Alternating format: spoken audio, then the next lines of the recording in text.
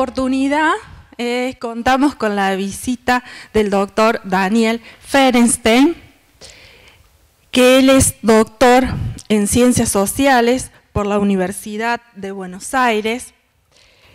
Se especializa en el estudio de prácticas sociales genocidas y los procesos de memoria y representaciones.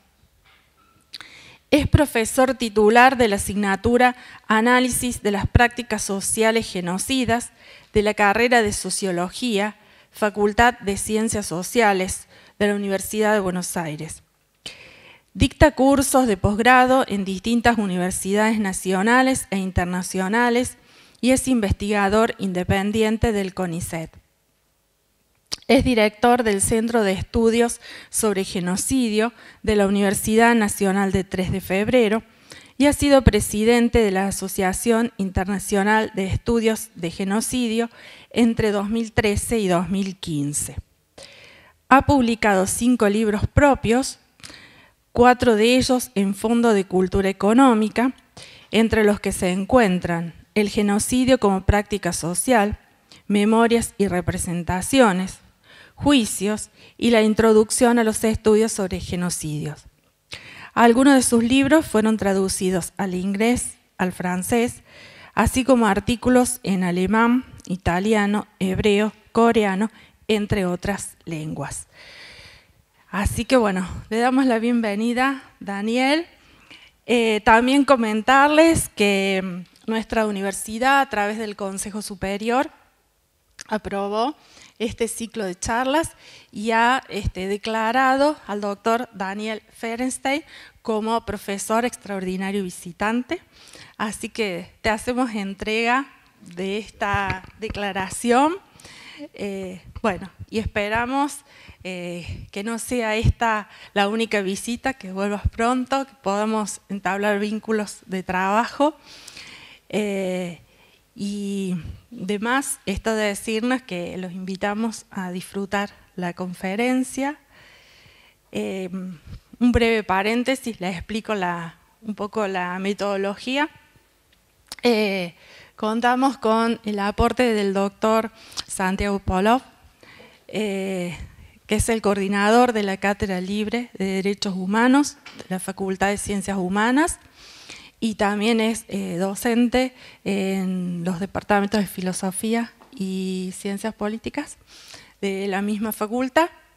Eh, él brevemente va a hacer un comentario sobre uno de los últimos o más recientes libros del doctor Daniel Ferenstein eh, posteriormente escucharemos la exposición y al finalizar vamos a abrir un espacio para intercambios, preguntas y demás.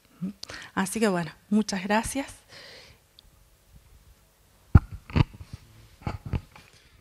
Bueno, muchas gracias Daniela, muchas gracias Daniel. Eh, agradezco la, invitación, la posibilidad de, de, abrir una conversación con Daniel Feierstein. Eh, Daniel es un formador, digamos, yo la, primera vez que lo conozco obviamente, pero hace ya un tiempo, digamos, ¿no? que uno lo, uno lo sigue, uno lo lee, eh, uno encuentra, digamos, mecanismos para explorar por ahí la, complejidad de lo que nos pasa y de lo que nos ha pasado fundamentalmente.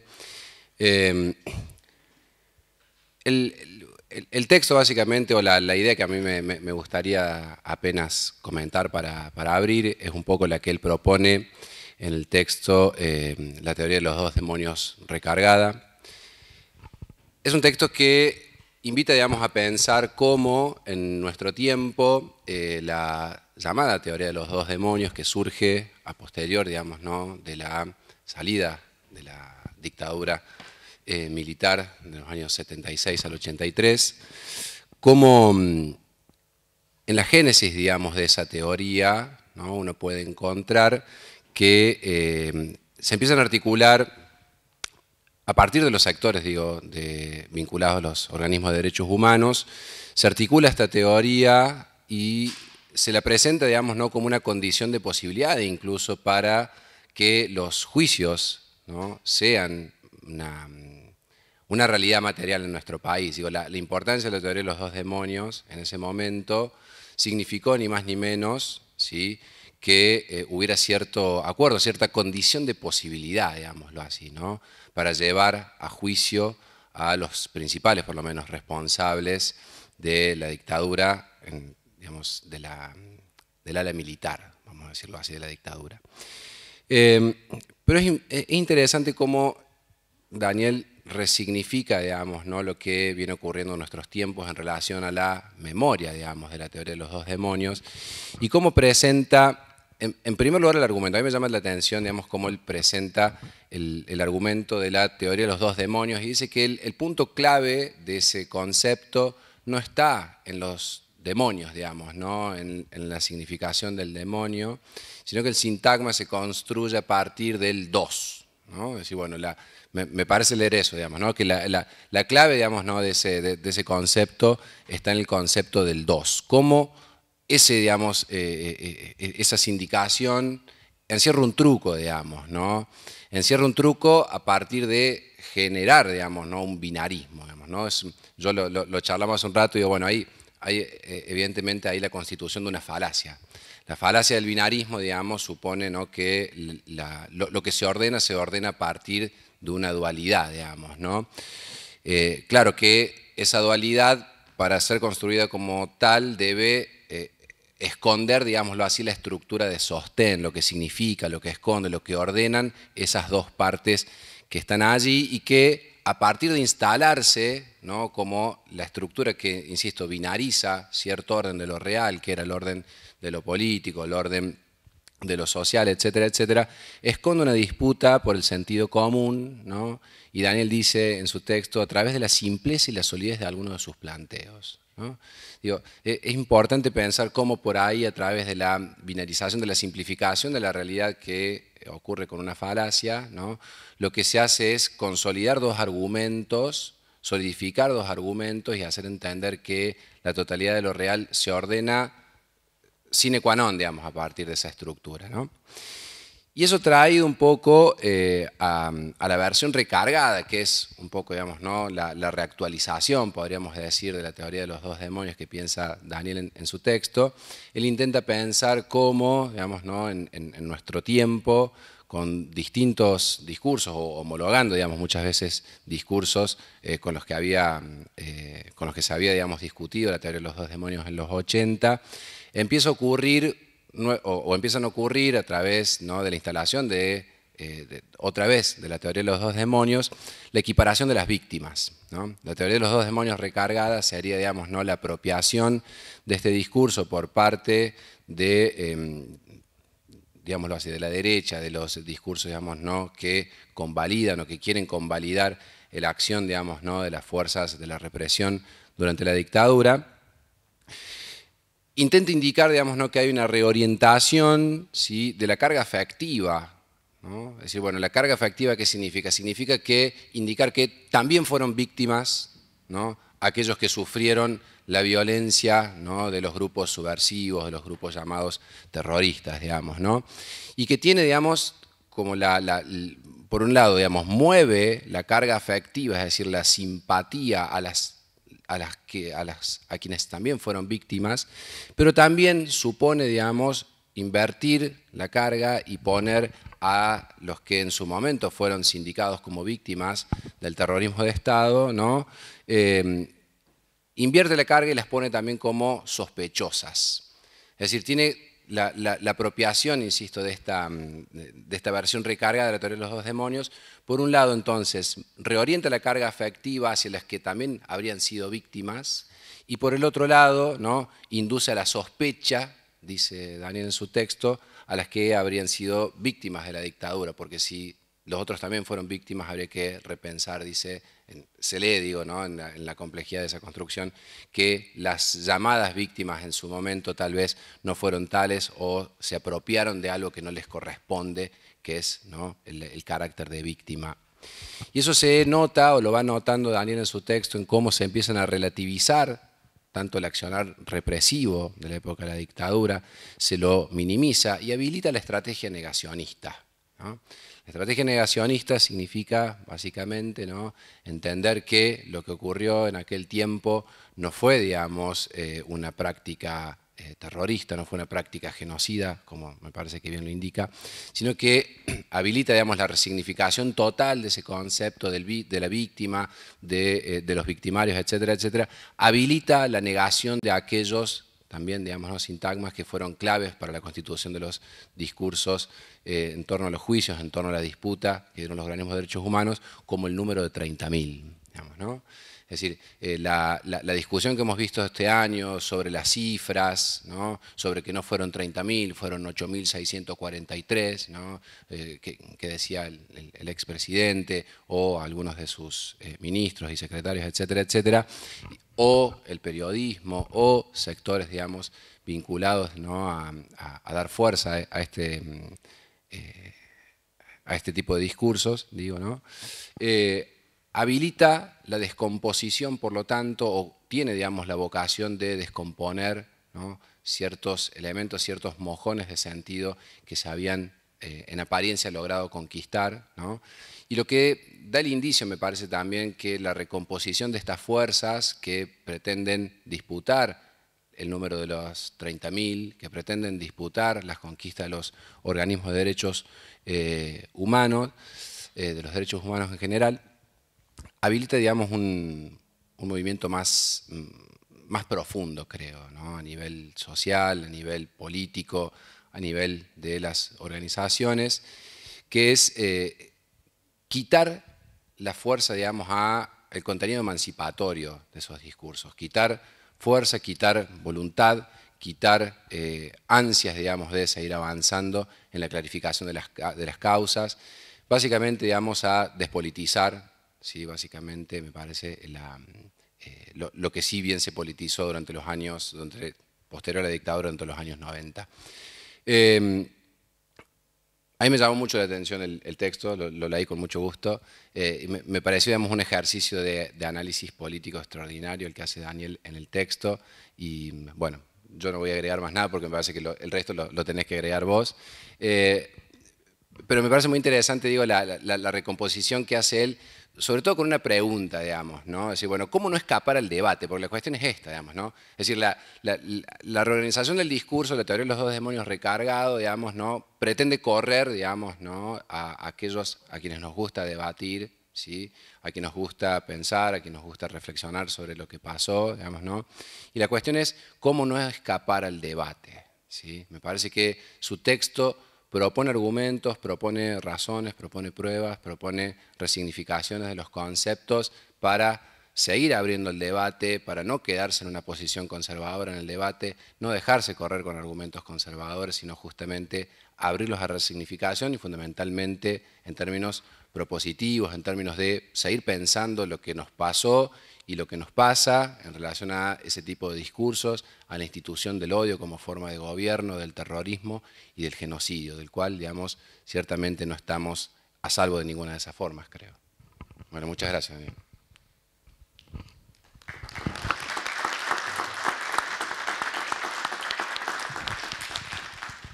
Bueno, muchas gracias por, la invitación a la universidad, a las instituciones que, que han hecho la invitación, por, por la presentación, la designación como profesor extraordinario. Este, y a, Santiago por la introducción, que, viene bárbaro, porque bueno, tiraste una cantidad de cosas que ya no las tengo que tirar yo, puedo decir otras, siempre está bueno eso. Este, bien, a ver, el objetivo mío era, era, como trato de hacer en general, tratar de, provocar. Creo que el sentido de, de la actividad académica eh, tiene que ver con la capacidad de provocación. Y entonces eh, nosotros tendemos a, y sobre todo en este momento histórico, a nivel internacional, en los últimos 15, 20 años, a sobresimplificar la realidad eh, en lugar de revisarla críticamente. Y entonces incluso en los problemas que nos traen, que es la problemática de las disputas por la memoria del genocidio ocurrido en nuestro país, eh, aparece como una, visión sobresimplificadora en la cual eh, el, movimiento de derechos humanos o quienes se sienten cercanos al movimiento de derechos humanos tiene algunas verdades eternas instaladas y que serían parte del discurso del bien, digamos, y quien no las entiende es porque ve mucho TN y fue inficionado por el discurso del mal. y la idea es poder salirnos de esas simplificaciones y tratar de entender, de recomponer cómo fue el proceso de disputa por la memoria en nuestro país, hacer una breve genealogía de ese proceso, cómo ingresa lo que voy a llamar y que un poco describía Santiago, la versión recargada de la teoría de los dos demonios en ese debate, cómo ingresa el negacionismo en ese debate, para tratar de entender en qué situación estamos hoy y que el origen de esa situación tiene que ver con cosas externas, esto es con cosas que pasan en distintos lugares del mundo, con procesos internos y también con muchos errores propios. ¿sí? La idea es poder hacer ese recorrido para poder entender con más complejidad cómo es que llegamos acá. Entonces, bueno, tenemos que remontarnos un poco atrás, pero prometo no hacerlo tedioso, ¿sí? tratar de avanzar más o menos rápido, pero tirando algunos puntos eh, relevantes. Yo diría, la disputa por, por, la memoria de lo que ocurrió comenzó mientras estaba ocurriendo, esto es, durante la misma dictadura. El problema es que tenemos una memoria tan corta que es producto de esta lógica, que tiene mucho que ver con esta lógica de las redes sociales que, nos impide la profundización, que tomamos el último momento como si fuera toda la historia. Entonces viene bien recomponer la genealogía de cómo fue ese proceso desde el fin de la dictadura hasta hoy y sobre todo ver un punto de quiebre que siempre vieron en las periodizaciones es difícil poner una fecha, entonces no voy a poner una fecha, sino más o menos un periodo, pero que diría entre 2007 y 2011. ¿sí? Más o menos, o sea, podría ser 2007, podría ser 2012 incluso, en algún momento de ese periodo, durante ese periodo, que es un periodo que inicia en 1980, 1979, 1980, esto es cuando termina el momento más duro del genocidio, todavía en dictadura, se articulan esos procesos de resistencia y empieza un proceso de disputa por la memoria que su característica peculiar en Argentina es que fue siempre ascendente hasta ese momento 2007, 2012, pongan donde quieran ahí. Pero lo interesante de poner donde quieran ahí es que eso es bastante antes del triunfo electoral de Mauricio Macri. Entonces me parece que ahí hay que poder ver que hay un proceso que es previo. Ese proceso de ese primer momento, digo, su característica tan peculiar es que siempre ascendente. ¿Qué quiere decir siempre ascendente? Que la disputa por la memoria de lo ocurrido en el genocidio siempre va en una dirección de mayor riqueza para el campo popular, de mayor riqueza en la interpretación por parte del campo popular. Y lo que va a ocurrir en ese momento, que por eso digo, lo podemos poner como una genealogía muy temprana en 2007, pero creo que es más preciso ubicarlo más bien hacia 2012, 2013, es un quiebre de esa tendencia.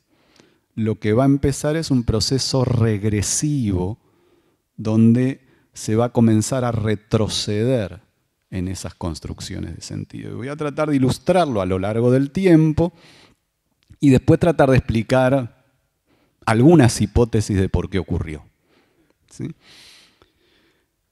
Primera representación del genocidio es la representación de los propios militares.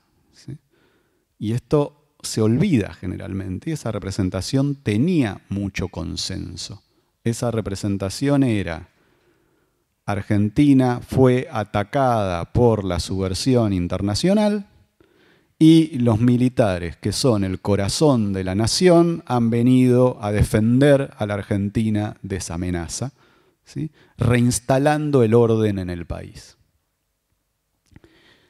La teoría de los dos demonios original va a surgir en 1979-1980 como respuesta a esa mirada militar.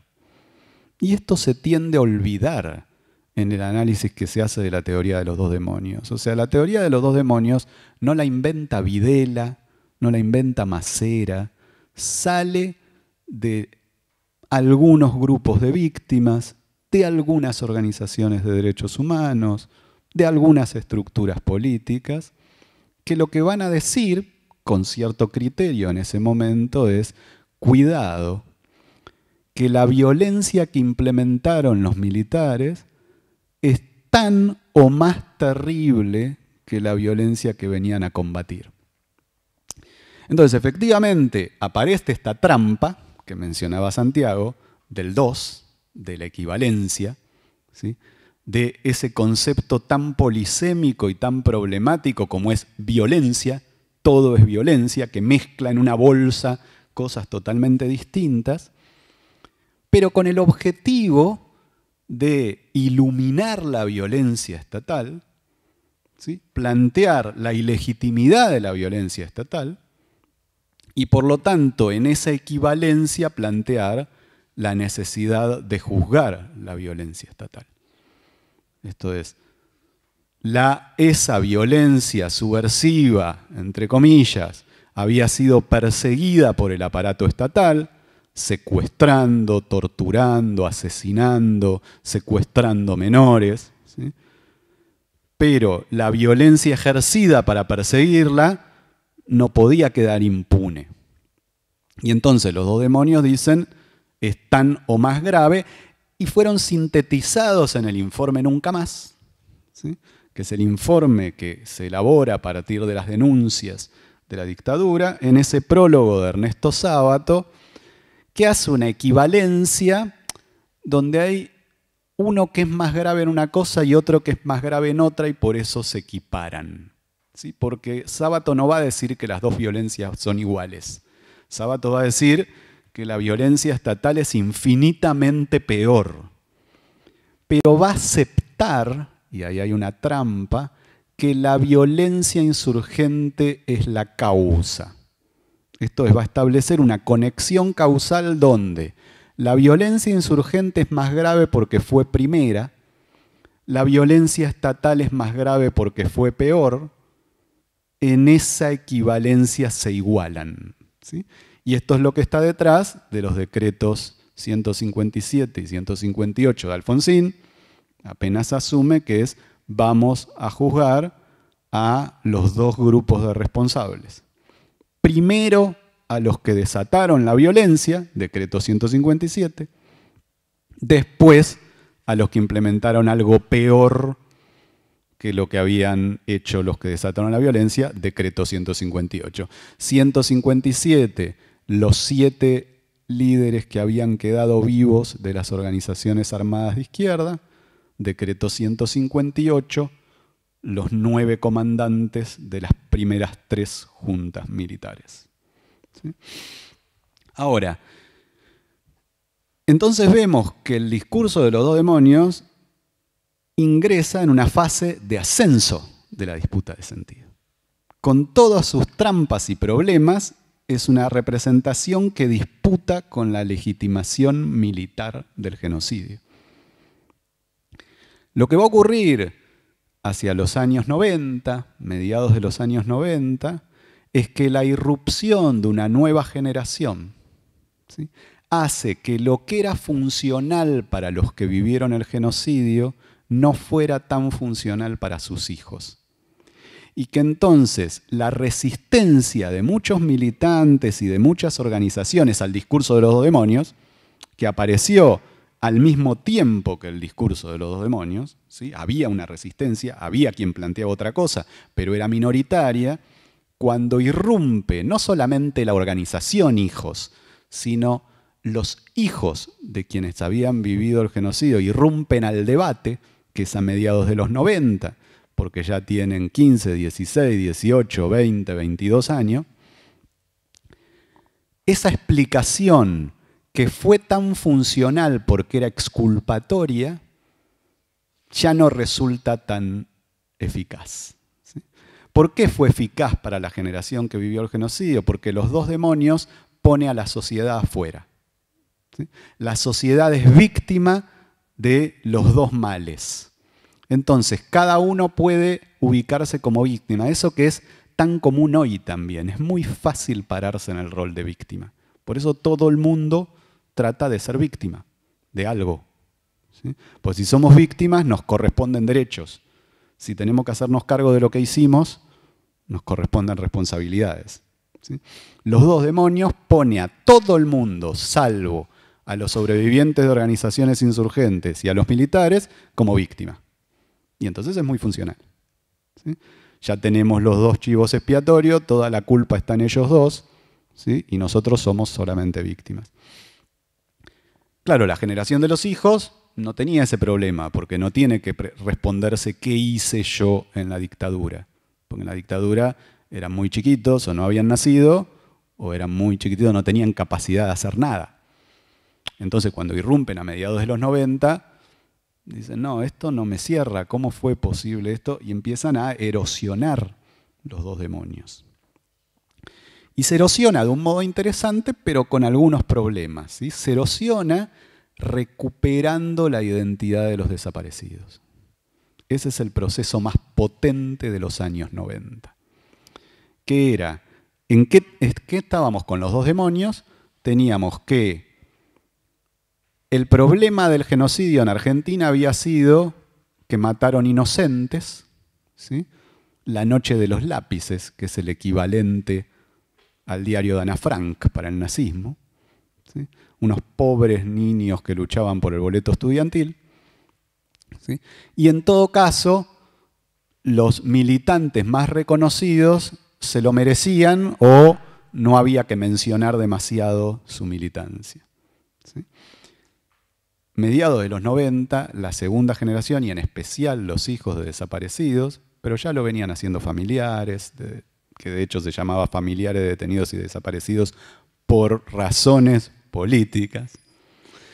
Ya lo habían hecho los ex detenidos desaparecidos, pero era en un ámbito de, cierto de cierta marginación, de cierto silenciamiento. Ahora ocupa la escena pública la recuperación de la identidad de los desaparecidos, no solo en tanto insurgente, sino entender el carácter genocida del proceso de destrucción que buscaba destruir una forma de acción social que no necesariamente pasaba por la acción armada, que incluía la acción armada, pero que incluía la militancia sindical, la militancia barrial, la militancia estudiantil, la militancia territorial. Y esa es una conquista enorme, poder recuperar esa identidad y además poder descosificar el elemento militar. El costo, que después se va a pagar caro en ese momento de clive, es que en esa visión el carácter armado quedó barrido debajo de la alfombra. Esto es, en la recuperación de la militancia, la discusión que no podía aparecer y que no aparecía era la discusión sobre la lucha armada, que es la que va a recuperar el negacionismo después.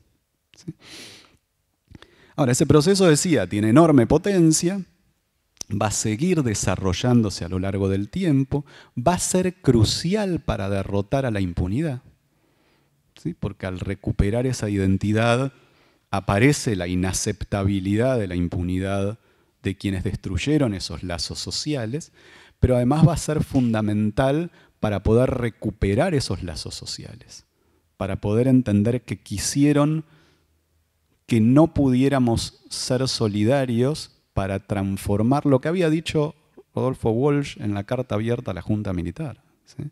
Si quieren ver el origen del genocidio, miren cómo cambió la distribución del ingreso. El campo de concentración es la condición de posibilidad de la transformación de la estructura social. Es romper esa lógica causal de los dos demonios, que es el genocidio no vino a combatir a la insurgencia. No hacía falta un genocidio para combatir a la insurgencia, porque la insurgencia en la Argentina nunca tuvo poder real, a diferencia de algunos otros países, El Salvador, ¿sí? por plantear un ejemplo donde hubo una guerra civil. El genocidio en la Argentina vino a otra cosa, que es a permitir una redistribución del ingreso favoreciendo a los sectores dominantes. Para eso había que destruir toda la organización de los sectores populares, fueran de insurgencia armada, la minoría, o no, la mayoría. Había que destruir a los dos. Ahora, ¿qué va a pasar en ese momento? Porque decíamos esto es creciente hacia ese momento que tiene un antecedente muy temprano, 2007, pero que les decía cobra su fuerza 2012, incluso 2013. 2012 es un punto importante de quiebre. Parece que está quedando sin batería, pero bueno, si no empiezo a hablar más fuerte. Eh, ¿Qué va a pasar en el medio? Dos cosas muy significativas que se van a articular. Primero, los sectores cómplices de los genocidas comprenden una cantidad de errores y de problemas en su disputa por los procesos de memoria. Comprenden algo crucial, que es que los procesos de representación se construyen de abajo hacia arriba. Esto era algo que no habían comprendido. La impunidad se trata de imponer desde arriba y fracasa. Y entonces fíjense que cambia el lenguaje, la articulación política y el planteo de los cómplices de los genocidas. Hasta 2007, quizás la mejor expresión de eso, pero ya nos olvidamos de esa organización, era FAMUS, familiares y amigos de muertos por la subversión, pero tanto FAMUS como los propios militares o sus cómplices lo que planteaban era ese planteo original.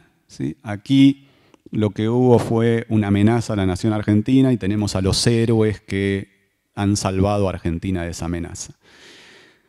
Pero en el 2007 va a aparecer Cecilia Pando, van a aparecer otro conjunto de planteos que van a decir algo distinto y que va a ser el origen de esta versión recargada de los dos demonios. Los dos demonios que había surgido desde el campo popular para enfrentar la visión legitimadora de los militares, se transforma en los dos demonios recargados que van a usar la equivalencia al revés el planteo no va a ser como era antes. Hubo una violencia insurgente y tuvo que venir el aparato estatal, pero con una violencia infinitamente peor, sino que el planteo fue, estamos hablando hace años de la violencia estatal y escondiendo bajo la alfombra la violencia insurgente. Estamos hablando de una violencia y nos olvidamos de la otra. Y entonces construyó toda su estructura en espejo a lo que había hecho el movimiento de derechos humanos. ¿Qué había hecho el movimiento de derechos humanos? Había angelizado a las víctimas, escondiendo su militancia y mostrando en el juicio a las juntas aquellos casos de menos perfil militante. ¿Qué hace esta estructura? Empieza a mostrar algunas víctimas de la violencia insurgente angelizadas y despolitizadas. Entonces, no te mencionan el asesinato del comisario Villar, el mayor torturador de la Argentina, sino el caso del secuestro y posterior muerte confusa al día de hoy de la Rabure, un militar no involucrado en el proceso represivo, o el caso de un niño que fallece como producto de un tiroteo en el intento de toma de un banco por parte de una organización insurgente. Esto es, es este mismo proceso de despolitizar a quienes sufrieron esas acciones. Y también construye en Espejo un centro de estudios que en su propia denominación hasta parece equivalente. En la dictadura se había creado el Centro de Estudios Legales y Sociales, integrado por abogados, algunos de ellos familiares de víctimas del genocidio, para plantear una construcción jurídica para poder abordar la denuncia de esos hechos, se crea el CELTIB, ¿sí? Una organización de abogados integrada también por algunos familiares de víctimas de la violencia insurgente, con el objetivo de iniciar acciones jurídicas en relación a ese tema. Entonces digo, acá hay un primer giro fundamental, poco percibido por el campo popular, que seguía hablando como si del otro lado hablara Famus o Videla, cuando hablaban Pando, el celtivo Villarruel. Del lado del campo popular hubo exactamente el proceso contrario. Mientras los cómplices de los genocidas comprendían que los discursos y las representaciones se construyen de abajo hacia arriba, el campo popular estaba entrando en la confusión de creer que los discursos se construyen de arriba hacia abajo. Y entonces, más preocupado por bajar línea del Ministerio de Educación que por los discursos que se daban en los barrios, en los territorios, en las escuelas, en cualquier espacio donde la gente empieza a discutir sobre lo que le pasa. Me parece que estos dos procesos simultáneos explican el cambio de tendencia, acompañado de un conjunto de errores del campo popular, que yo llamo errores no forzados, y que quiero dejar claro, a ver, todo lo que estoy diciendo puede estar equivocado, son todas hipótesis, pero son hipótesis provocativas para abrir a la discusión. Yo creo, quiero señalar tres eh, cuestiones que considero relevantes en, términos de esos errores no forzados y después destacar algunas cuestiones de cómo se constituye el negacionismo para, abrir al debate. Eh, los dos primeros errores parecen muy académicos, parecen muy técnicos, pero no lo son para nada. Porque el problema es que los conceptos son herramientas para comprender la realidad. Y por lo tanto ha habido un vaciamiento del sentido del aporte de la universidad pública, del sentido del aporte del pensamiento, que es justamente la capacidad para cuestionar críticamente esos conceptos que utilizamos. Ha habido una escisión entre un sector del campo popular que tiene esta, estas eh, muy fallidas expresiones tipo la universidad de la calle, y que cree que con actuar alcanza para pensar, y un sector muy significativo de la academia que cree que se puede pensar sin actuar. Y entonces se ha escindido el pensar del actuar y eso ha sido una derrota profunda del campo popular. Y me parece que estos dos primeros conceptos que voy a plantear son parte de eso, que en el movimiento de derechos humanos, en gran parte del campo popular, se comenzó a utilizar una terminología que era profundamente contraproducente sin jamás haberse planteado cuáles podían ser sus consecuencias. Y voy a plantear dos, quienes me han leído las conocen, pero si no, por ahí los va a sorprender, porque son de las más utilizadas, son terrorismo de Estado y dictadura cívico-militar. Si hay algo que se plantea una y otra vez en las conmemoraciones, en los manuales de texto, en los eh, discursos públicos, es el terrorismo de Estado de la dictadura cívico-militar. Trato de desarmar brevemente ambas. ¿sí? Terrorismo de Estado. ¿sí? Su historia es larga, bueno, no viene a cuento porque me voy a ir por las ramas, sino si quieren en las preguntas lo podemos ver cómo se fue construyendo, porque tenía un elemento interesante cuando surgió, pero en definitiva, cuando se elige, diría, comienzos del siglo XXI como la denominación para el genocidio argentino, ya habían sido, habían ocurrido los atentados en la Embajada de Israel y en AMIA en nuestro país, había ocurrido o ocurrió inmediatamente después del atentado a las Torres Gemelas en Estados Unidos. El concepto de terrorismo había quedado absolutamente cargado cargado desde una comprensión de ese terrorismo, que era la forma de estigmatizar a cualquier acción de resistencia. Y cuando decimos terrorismo de Estado, convocamos todo ese imaginario, pero además convocamos inmediatamente la dualidad que mencionaba Santiago, que es esto de el corazón de los dos demonios está en dos. Y si decimos terrorismo de Estado, la pregunta que viene inmediatamente a continuación es, ¿y qué pasa con el otro terrorismo? Ahora, eso se puede desmontar si no se utilizara terrorismo de Estado. ¿Por qué? Porque si hay algo que tuvo la insurgencia en la Argentina, tuvo muchos errores graves ¿sí? de concepción política, quizás uno de los más significativos asesinar al secretario general de la Confederación de Trabajadores. una organización popular, ¿cómo va a asesinar al secretario de la Organización de los Trabajadores? ¿En qué cabeza entra, digamos, más allá de que disienta o no disienta?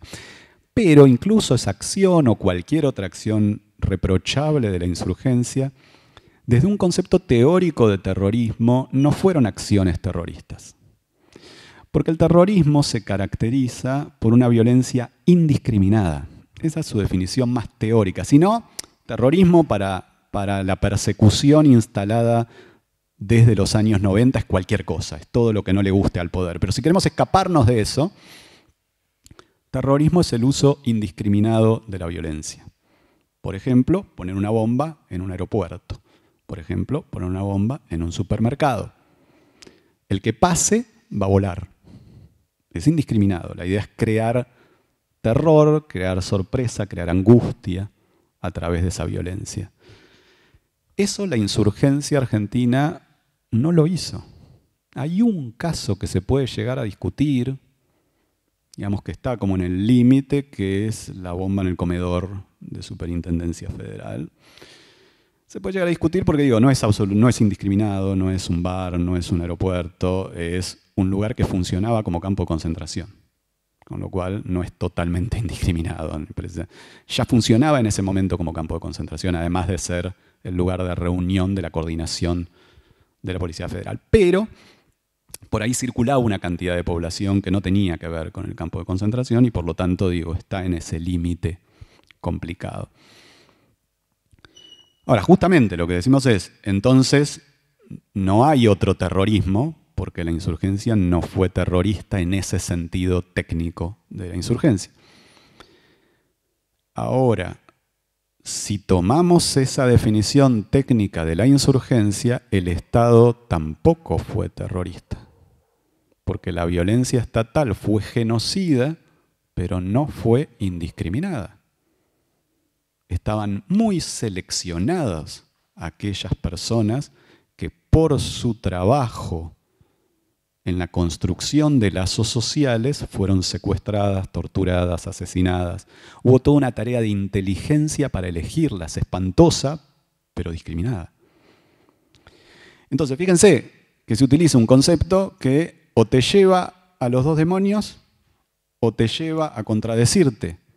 ¿Y entonces para qué elegís ese concepto? Ahí hay un primer problema que esto es innegable que la fuerza de la ofensiva negacionista tuvo un elemento principal en este error conceptual. Porque todo el tiempo aparece la pregunta por la dualidad.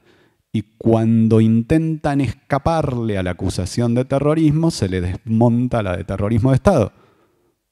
Y entonces caes en una incoherencia.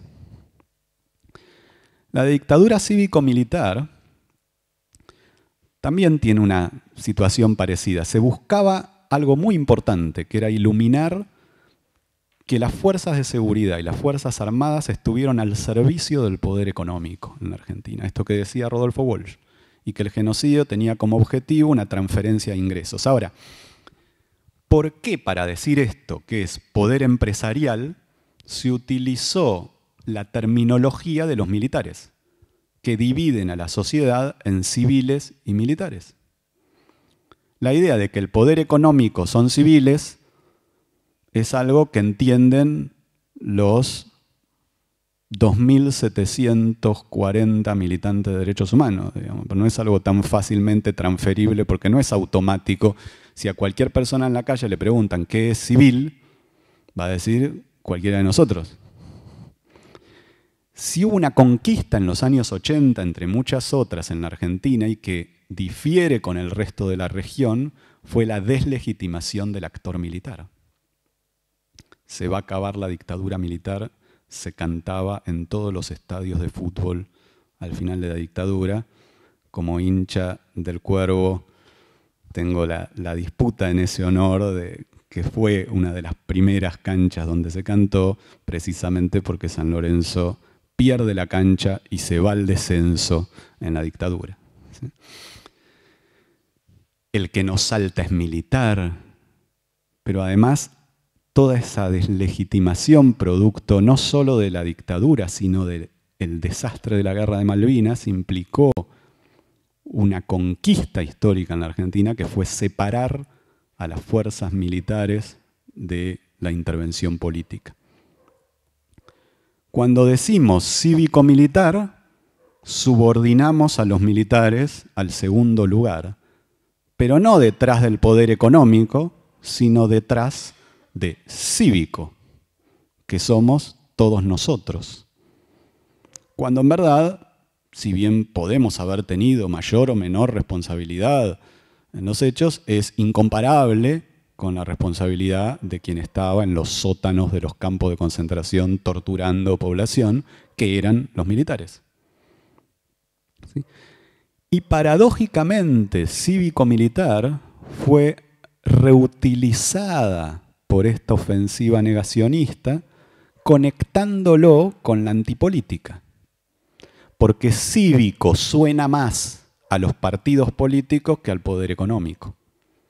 Y entonces es reivindicada esa expresión dictadura cívico-militar como una forma de relegitimar a los militares que habrían sido simplemente el chivo expiatorio de la corrupción de siempre de los partidos políticos, que son los responsables también de la dictadura. Y conecta con la antipolítica que ya había surgido con fuerza en los 90, pero que se resignifica en el siglo XXI. Entonces digo, estas dos cuestiones conceptuales creo que jugaron un rol fuerte también en este cambio de tendencia. El tercer error no forzado, quizás es el más problemático, bueno, todos me los discuten, pero este mucho, eh, que es lo que yo creo que es la pérdida de la transversalidad política del movimiento de derechos humanos. ¿sí? Que su potencia siempre estuvo en su carácter plural. Y que no se entienda mal, plural no quiere decir ni a político ni a partidario. El movimiento de derechos humanos era profundamente político y tenía en su interior numerosas identidades partidarias, tantas que tenía casi el arco político entero adentro del movimiento de derechos humanos. El único partido con una representación importante, o los únicos dos partidos con representación importante que no recuerdo que tuvieran ningún miembro en ningún organismo, fue el partido de Manrique, en su momento, que había sacado cierto peso electoral, y sobre todo la Unión de Centro Democrático de Alzogaray. Pero exceptuando esas expresiones que nunca superaron, por lo menos en esos años, más del 7-8% de los votos, el resto de la estructura política, incluyendo no solo a todas las variantes del peronismo, todas las variantes de la izquierda, la Unión Cívica Radical con sus distintas corrientes, e incluso el Partido Demócrata Progresista, los distintos partidos socialistas, incluso los que se fueron más hacia la derecha, como el Partido Socialista Democrático, todos eran parte de los organismos de derechos humanos, con lo cual era una conquista y una tradición del pueblo argentino.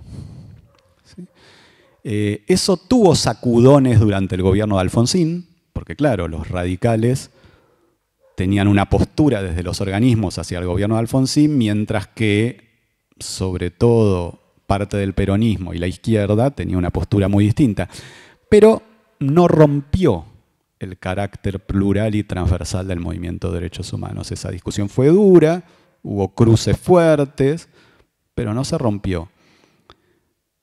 Durante el kirchnerismo esa pluralidad se quiebra, se quiebra el encuentro Memoria, Verdad y Justicia en el 2006, se quiebra la marcha del 24 de marzo y comienzan a hacerse dos marchas, incluso en muchos lugares del país, y cada vez más aparece esta idea de los derechos humanos como una rama del kirchnerismo. Yo creo que esto metió las conquistas de la lucha por los derechos humanos en la grieta. Si los derechos humanos son una rama del kirchnerismo, si yo no soy kirchnerista, no podría acompañar la disputa por los derechos humanos. Y esto me parece que sin agregarle demasiado al kirchnerismo, empobreció al movimiento de derechos humanos y lo partió. Porque además hubo fracciones que no aceptaron eso, pero quedaron excluidas, quedaron marginadas, tuvieron que armar sus propias organizaciones, se quebraron las organizaciones al medio, muchas organizaciones, fue muy triste, se dijeron muchas cosas de las que hoy todavía es difícil recuperarse. Yo le tengo un respeto enorme a Sergio Maldonado porque fue el único que después de todos esos años logró, exigiendo como hermano de Santiago Maldonado, que las marchas para reclamar por la desaparición de Santiago Maldonado fueran únicas o la familia no iba a participar. Y fue la única manera de poder juntar a los distintos sectores para entender que tenemos problemas comunes y que que desaparezca Santiago Maldonado no es una cuestión de si sos kirchnerista o no sos kirchnerista. Bueno, creo que entre muchos otros elementos estas tres cuestiones fueron también este, relevantes para entender ese quiebre de tendencia. Y quería cerrar con algunas cuestiones que, que un poquito adelantaba Santiago, pero quería meterme un poquito más, que es entender cómo se articula esta versión recargada de los dos demonios en clave negacionista. Porque otra diferencia que tenemos con la versión original es que la versión original no era negacionista, no buscaba negar los hechos. Construía una visión problemática de esos hechos, utilizaba una estrategia del negacionismo que es la falsa equivalencia, pero sin terminar de ingresar en una lógica negacionista.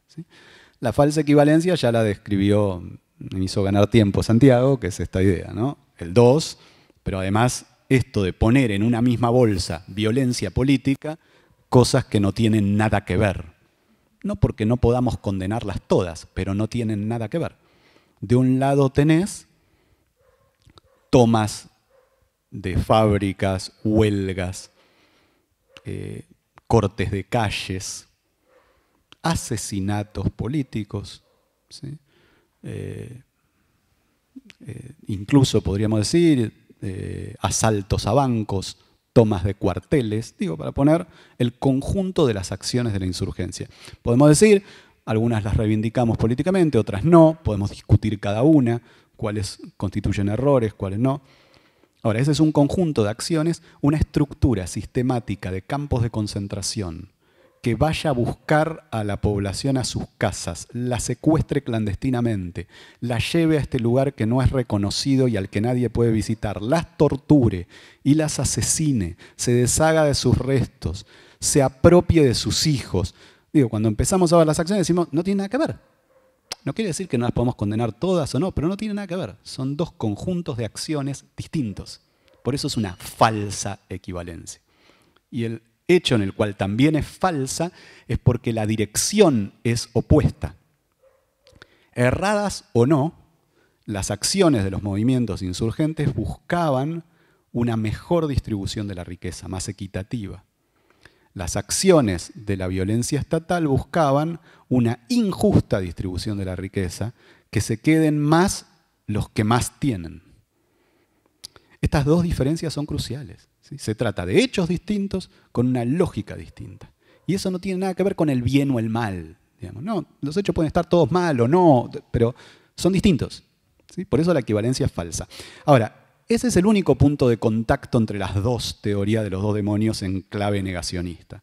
Mientras que la versión recargada asume las cuatro formas del negacionismo, ¿sí? que es la falsa equivalencia, la minimización o relativización, que es algo que nunca la teoría de los dos demonios original planteaba, que es este debate que aparece de no son 30.000, y que requiere centrarse en eso y con eso termino, les dejo las otras dos planteadas para, después para el debate, que serían la sobresimplificación y las teorías conspirativas. Pero me quiero meter con, el debate de, la minimización o relativización, ¿por qué? Porque todo negacionismo siempre tiene como una de sus premisas, por eso es una de sus técnicas fundamentales, minimizar o relativizar el número de víctimas. No son los que dicen que son. Entonces, como no son los que dicen que son, el caso sería menos grave. Ocurrió en todos los procesos genocidas. Hay un autor armenio muy interesante que se llama Mark Mamigonian, que dice los genocidios se denuncian siempre con estimaciones, que como son estimaciones son números redondos. 6 millones, 1 millón y medio, 2 millones y medio, 3 millones, estoy distinguiendo los distintos casos, 250 mil, 6 mil, en el caso argentino, 30 mil. Y se niegan con supuestas precisiones, que son los números constatados. En Argentina no se ponen de acuerdo, pero si es 7.963, 8.960, según qué listado tomen, o si borran o si anulan, pero siempre son alguna forma de los casos constatados. Entonces hay dos o tres discusiones interesantes ahí. Lo primero es esto que decía Mamigonian, un genocidio no puede tener el número total de víctimas nunca, ningún genocidio. ¿Por qué? Porque se asesinan familias enteras, porque en muchos casos se asesinan barrios enteros, no queda quien pueda llevar a cabo la denuncia, el proceso es clandestino, pero además porque el, terror sigue funcionando muchos años después y por lo tanto hay quien podría denunciar, pero no lo hace porque sigue teniendo miedo de las consecuencias. Y están a la vista con la segunda desaparición de Jorge Julio López que se cumplió justamente hace dos o tres días, hace dos días la, 16 aniversario de su segunda desaparición. Ahora, hay otros elementos para meter en la discusión, que es, uno puede discutir si la estimación fue más o menos correcta, porque como se hacen en contextos de mucha dificultad, cuando se hizo la estimación de los 30.000, podrían haber no tenido todos los elementos para poder hacer esa estimación. Ahora, cuando analizamos en qué consistía esa estimación y qué datos tenemos hoy de los procesos de investigación, que son muchos más que los que están en la Secretaría de Derechos Humanos, justamente porque una cosa es lo que llega a las causas judiciales y otra cosa es las denuncias existentes, que no necesariamente son antecedentes judicial.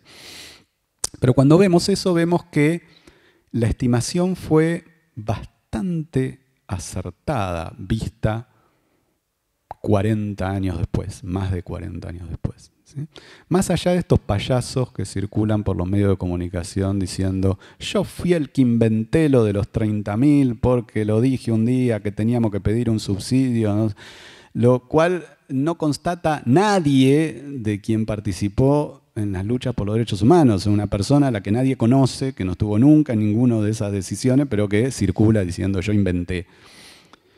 Esa estimación salió de una cantidad de estudios, de distintos organismos, fue muy importante la CADU en el exilio en ese momento, que trataban a partir de los testimonios que se tenían en el año 79-80 y de los documentos a los que se iba teniendo acceso, sobre todo uno que se desclasificó después, que planteaba ya en el año 78 un documento desclasificado de la Embajada de Estados Unidos, 22.500 personas. La estimación era ¿Cuántas personas pasaron por la estructura de campos de concentración? Esta era la estimación de los 30.000. Porque lo que se hacía era que los distintos sobrevivientes, había sistemas de numeración dentro de los campos y entonces a partir de esto, de la gente que vieron, de los sistemas de numeración, de la gente que había estado antes, de las distintas eh, cohortes que iban pasando, es terrible llamarlo así, pero era así, ¿sí? por los distintos campos, y del número de campos que más o menos se conocía, trata de estimar cuánto se podía no conocer a partir de cuánto se conocía para estimar cuántos pasaron. Y digo que es bastante cercano porque cuando tomamos el número de personas que hoy tenemos constatación que han pasado por los campos de concentración, estamos arriba de los 21.000, 22.000, pero además sabiendo que nunca va a ser un número final.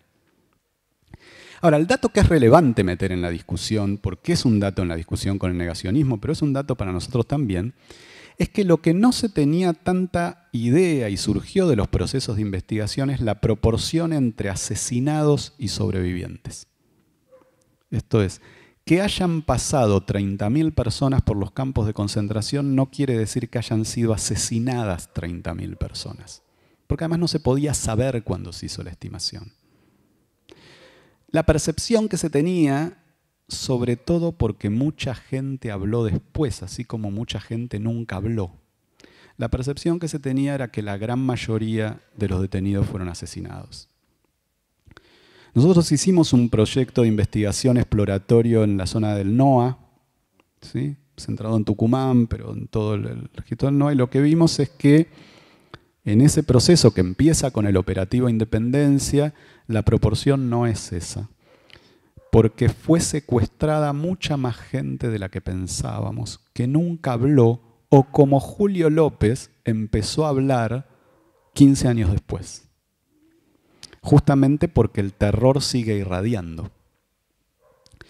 Y entonces lo que vemos en ese trabajo exploratorio es que más bien los asesinados están entre el 35 y el 40%, no el 80%. ¿Y esto por qué? porque si el campo de concentración es una técnica para irradiar terror, yo necesito que muchos salgan a irradiar. Necesito muchos, y esto pasó en muchos procesos genocidas. Yo necesito muchos más secuestrados y torturados que asesinados, porque necesito que vayan y le cuenten a los demás lo terrible que es haber sido un militante sindical, territorial, barrial, estudiantil. Y entonces esto es un elemento para meter en la discusión, más allá de que nunca vamos a tener la cifra definitiva. El otro elemento que aparece en la investigación es que las denuncias siguen. Esto es, nosotros tenemos nuevos y nuevos y nuevos casos de denuncia, tanto de quienes fueron asesinados como de quienes sobrevivieron. Por supuesto que las denuncias que aparecen los últimos años son muchas más de quienes sobrevivieron que de quienes fueron asesinados. Pero también hay nuevas denuncias de gente que fue asesinada, menos. Esto es, esto lo que hace es desmontar el argumento negacionista. ¿Por qué? Porque aunque no sepamos cuántos fueron, lo que sí sabemos es que cualquiera de los números que esgrime el negacionismo está mal.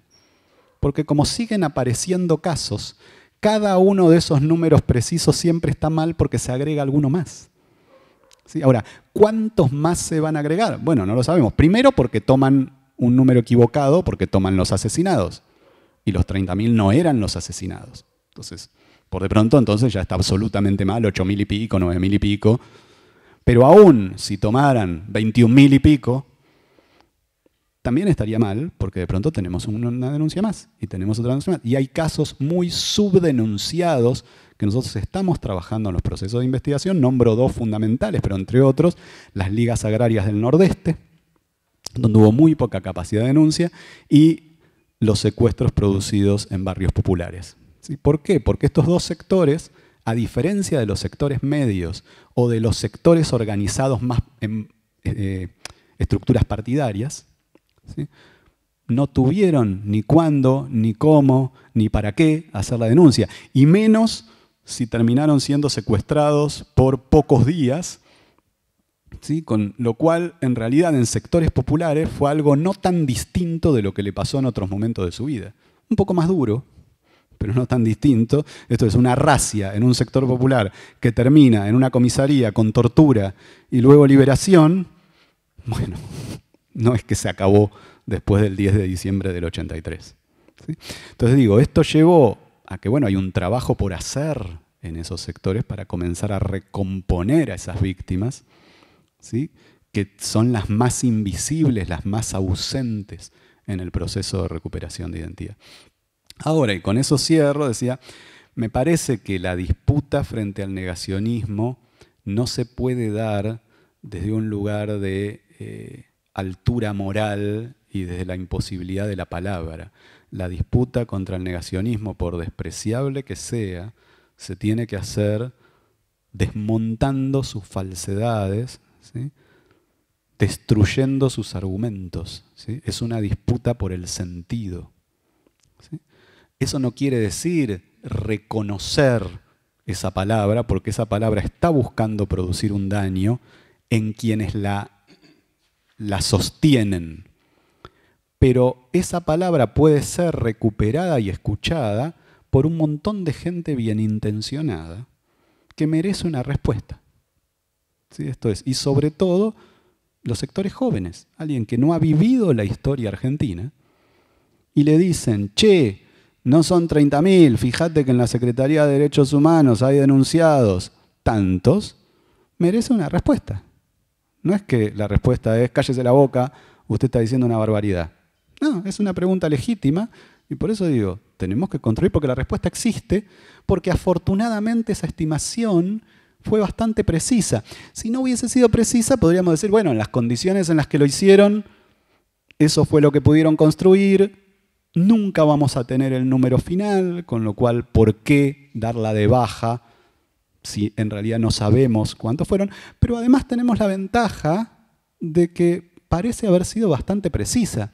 Bastante precisa no quiere decir exacta. Pueden haber sido 27.408 o 33.250. ¿Cuál es la relevancia? Justamente lo que muestra la estimación es este dato de todo genocidio que es que nunca vamos a terminar de saber, de que cada día tenemos más casos, que es importante ese proceso de recuperación de casos y que también es importante saber cómo fue esa distribución entre asesinados y sobrevivientes porque nos hace pensar que tenemos entre nosotros muchos más sobrevivientes de los que creemos, que tenemos mucha gente que nunca habló que necesitamos poder hacerle el espacio para hablar o ir a buscarlos. El sobreviviente no aparece solamente cuando va y denuncia, es una visión neoliberal. Ah, quiere la plata de la restitución que primero hay que ver cómo la va a gestionar y qué abogado se la va a conseguir, que en los sectores populares no es nada sencillo. Sí, pero además de esto, una visión absolutamente mercantil y egoísta de las experiencias vitales. En verdad, podríamos decir, no denuncia al que quiere, denuncia al que puede. Por eso es importante, y la universidad tiene un rol crucial en eso, en salir a buscar aquellos que han sufrido ese proceso y no han tenido condiciones para poder denunciarlo. Y por eso nombro esos dos sectores fundamentales, pero digo, puede haber muchos más por distintos motivos. Hay casos porque se sentían estigmatizados por sus familias, familias que justamente eh, no coincidían con la ideología de quien fue secuestrado y veían como una vergüenza tener que plantear ese hecho sobre todo familias acomodadas en ese caso muchas veces, y que por lo tanto el caso ocurrió, está claro dentro de la familia, pero nunca existió la voluntad de denunciarlo. Digo, hay infinidad de casos de ese tipo que es importante poder recomponer, insisto, no para llegar a un número definitivo que nunca vamos a llegar, sino para poder no solo recuperar esas historias, sino darle voz a quienes se le intentó quitar la voz. Bueno, voy a dejar acá si podemos tener espacio para, para intercambio.